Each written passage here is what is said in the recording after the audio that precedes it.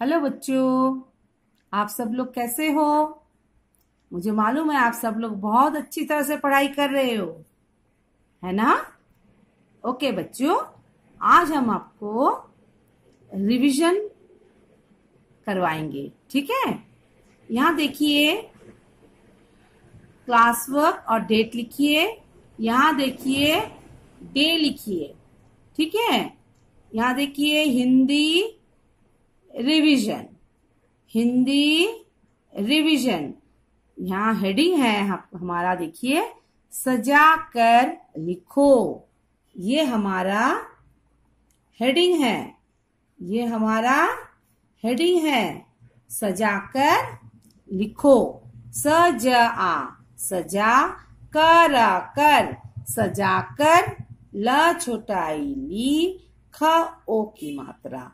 लिखो। सजाकर लिखो। यहाँ देखिए बच्चों, हमने बहुत से शब्द दिए हुए हैं।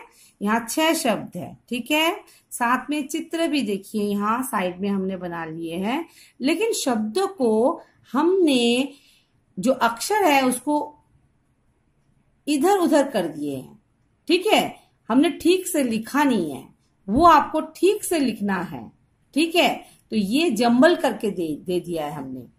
तो इसको आप सजाकर, इसीलिए हेडिंग है सजाकर लिखो।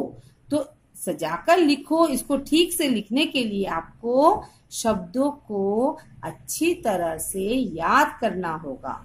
ठीक है ना? इसका स्पेलिंग आपको अच्छी तरह से याद होना चाहिए।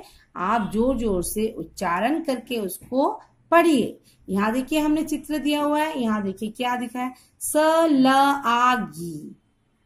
तो क्या होगा? गिलास, ग में छोटी ल आस, गिलास, ग में छोटी गी ल आस, गिलास। नंबर टू देखिए यहाँ। सवदी यहाँ देखिए चित्र। यहाँ हिल्स है, हिल्स में से सूरज निकल रहा है ना? है ना? पहाड़ों में हिल, सूरज निकल रहा है। तो उसको क्या बोलते हैं? दिवस। द छोटी छोटी ई दी वस दिवस दिवस दिवस। नंबर थ्री देखिए, ब, कीता।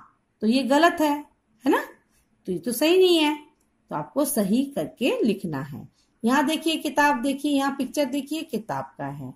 तो किताब का स्पेलिंग बोलिए, क में छोटी, की, त, आ, ब। किताब। क में छोटी की त आ ब। किताब। यहाँ नंबर फोर देखिए। न हीर यहाँ चित्र देखिए। यहाँ किसका चित्र है? हिरन का, फेस का चित्र है, ठीक है ना? हिरन का। तो डियर है इसको। ये डियर बोलते हैं इंग्लिश में।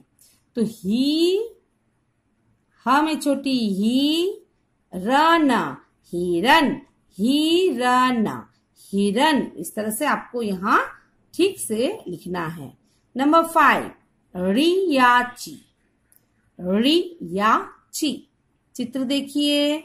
तो क्या होगा? ची, च छोटी, ची, अड़ा छोटी, री, या, आ, चिड़िया चिड़िया। तो इसको आप सुंदर से सजाकर लिखिए। फिर देखिए, यहाँ देखिए नंबर सिक्स ही या प यहाँ देखिए ये पहिया है। आप देखते हो ना पहिया, बस में, कार में, है ना? टांगा, है ना? तो वहाँ पहिया होता है ना? विल, इसको विल बोलते हैं। तो क्या होगा?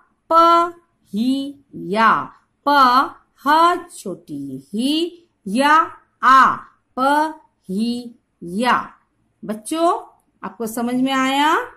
ये क्या है पहला वाला? बोलो, गिलास। नंबर टू दिवस। नंबर थ्री कब? क्या है? किताब। नंबर फोर हिरन। नंबर फाइव चिड़िया। नंबर सिक्स पहिया। ठीक है बच्चों? आप लोग इसको ठीक तरह से लिखिए। आपको समझ में आ गया ना बच्चों? हाँ। ठीक है? इस तरह से लिखिए और ज़ोर ज़ोर से उच्चारण करके पढ़िए और इन शब्दों को याद कीजिए। ठीक है बच्चों? आज के लिए इतना ही। Bye bye have a nice day thank you